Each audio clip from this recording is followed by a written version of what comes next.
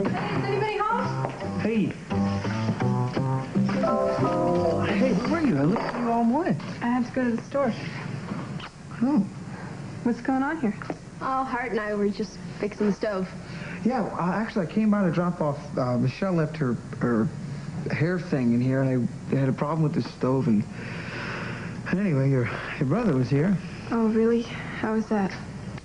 Not great. It's just like you said. I mean, he's not going to give up on my dad. Oh, I'm sorry. It's not your fault. Hey, Hart, um, you know, you didn't have any breakfast. Oh, that's okay. I wasn't really that hungry. Anyway, uh, Bridget, she cooked all this stuff. Wow, really? I like to create in the kitchen.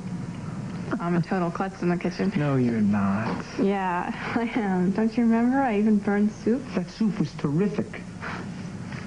Such a bad liar. No way. Um, are you ready to go?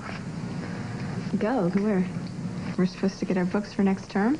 Oh, man, was that today? That's right. Okay, uh, well, uh, I can't. I mean, I gotta, you know, we're fixing the stove, and, and I gotta clean up, and I, I'll meet you there, okay? How about that? Will it take long? Oh, the stove done. A few more minutes. Okay, well, I'll stay then. I'll help you clean up, Bridget. Great.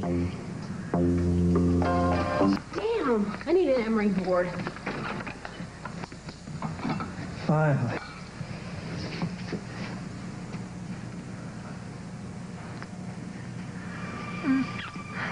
Hey, Hart. Not now, okay? What? Not here, not not in this place. I'm sorry. I just feel uncomfortable.